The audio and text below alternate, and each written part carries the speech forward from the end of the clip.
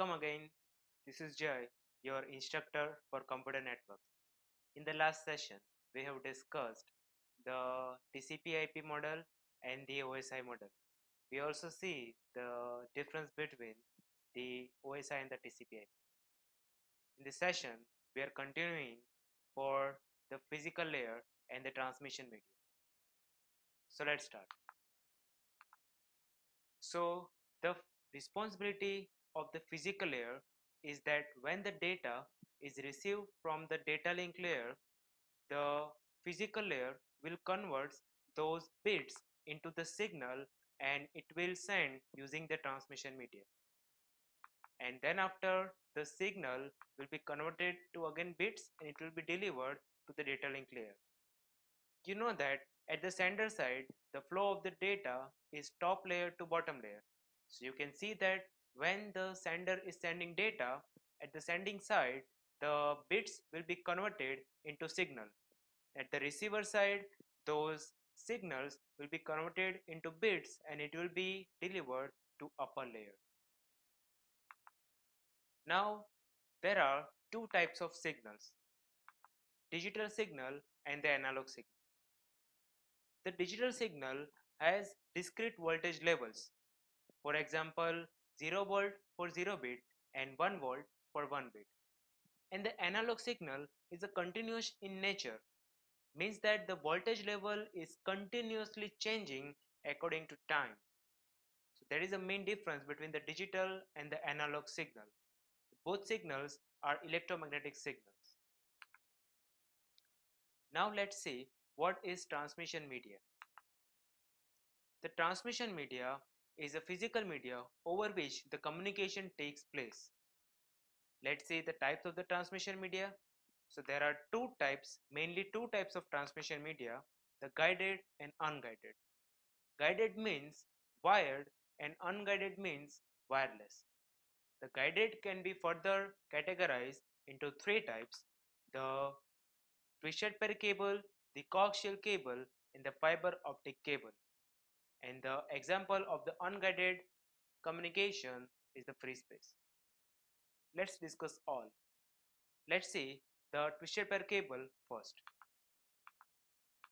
So the twisted pair cable is made of two plastic insulated copper wires which are twisted together.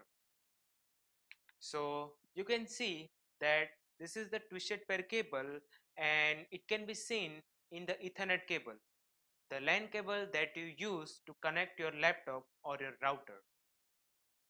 So you can see in this figure two cables which are insulated by plastic are twisted together and it is simply called twisted pair cable. In the twisted pair cable the signal is flowing is difference of these two cables. What I am trying to say is for example the first cable is carrying 3 volt and the second cable is carrying 5 volt. So the actual signal that is being transmitted over the cable is difference of these two voltage levels and it will be 2 volt. Now suppose for example the first cable is carrying 3 volt and 5 volt again but in this case the noise is added. So due to some environment changes the noise is added and the value of the uh, voltage in this cable becomes 4 volt and 6 volt. So 1 volt is added due to noise. But actually we are considering the different the difference of these two cables so the difference remains same which is 2 volts. So due to the noise there will be no change in the voltage transmission. So that is why the twisted pair is beneficial and it is more efficient to use twisted pair cables when there is environment uh, which has very large amount of noise. Now let's see the types of twisted pair cables. There are two types of twisted pair cables, shielded twisted pair and unshielded twisted pair. You can see that the first cable is the unshielded twisted pair and the second one is shielded. So when the cables are shielded, it can take more noise. Okay, so signals which are flowing through the cables will be less affected by noise. The second type is the coaxial cable. There are two types of wires. The core wire lies in the center and it is enclosed in an insulating material. The second wire is wrapped around the insulating material and the whole cable is covered by plastic. So you can see in this figure, this is the coaxial cable. Then after the third type is the optical fiber cable. In the optical fiber cable, there are three main components. The first component is the light source. The second component is transmission medium and the third component is a light detector. So you can see in this figure, this is the example of light source which is nothing but a laser. So when the sender sends data, the data is actually in the form of bits and to transmit the data you have to convert those bits into some signal. So when the bits means the data is applied to this laser, the laser will keep blinking according to the rate of data and light will pass through the medium. In the optical fiber, the transmission medium is glass, which is denser than the air and the receiver is the light detector which converts the light signal into the bits. Now let's see the working principle of optical fiber. The optical fiber has the dense medium which is glass and the outside of the optical fiber is air which is less dense medium. When the light is passed from the glass to air, it will be moved away from the normal. And this angle is less than the critical angle. When the light is passing from the dense medium to less dense medium at the critical angle, the light will follow the medium between these two mediums means air and glass. That is called the critical angle. And the light is passing the angle more than critical angle it will be reflected back and which is called the total internal reflection so this is the basic condition for the optical fiber communication. The light should be inserted the angle more than the critical angle so that it will be reflected inside the fiber and light stays inside the fiber. Now let's see the types of modes. There are two type of mode, the single mode and multi-mode. The multimode is further divided into two types that is step index and graded index. Now what is the meaning of single mode and multimode? Single mode means that that, uh, that type of fiber can propagate one particular wavelength only.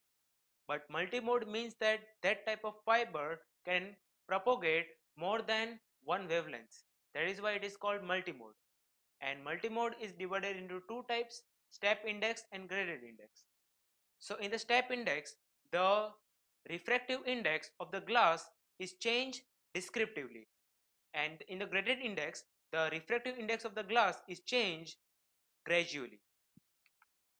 In this example, you can see that this is the example of the multimode. So more than one wavelength can transmit, more than one signal can transmit throughout the fiber.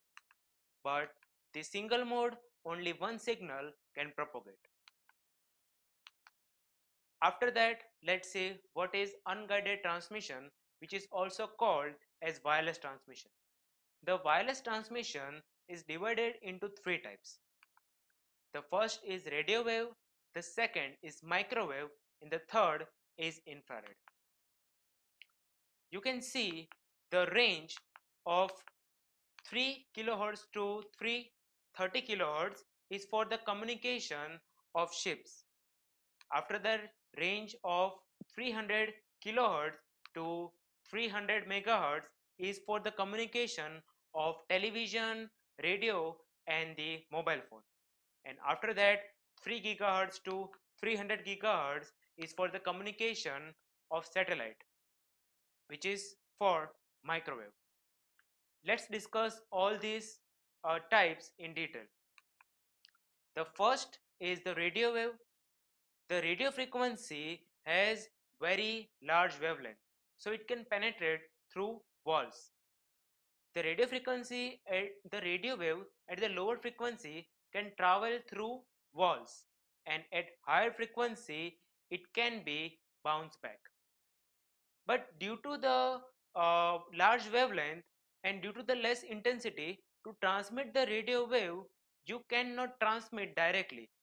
So to transmit the radio wave for the long distance you have to do the modulation and there are different type of modulation available. Now what is modulation? When we want to transmit lower frequency signal, they that type of signal cannot transmit long range. So what we do is we will uh, modulate that signal for uh, into higher frequency. So it can transmit for long distance. That is called modulation. There are different type of modulations, uh, amplitude modulation, frequency modulation, phase modulation, etc. After that, there is microwave. Generally, the frequency of the microwave is in gigahertz and microwaves are used for satellite communication. The microwave can travel through straight line and the sender and the receiver should be aligned so that communication can take place. So you can see the frequency of the signal is very high. And the last one is infrared and infrared lies between the visible light spectrum and the microwave and it is used for short range communication. So infrared receiver can be found in your remote or it can be found on the surface temperature measure device. So this is it for today's session. If you have any doubt, you can ask me in the comment section. Thank you so much.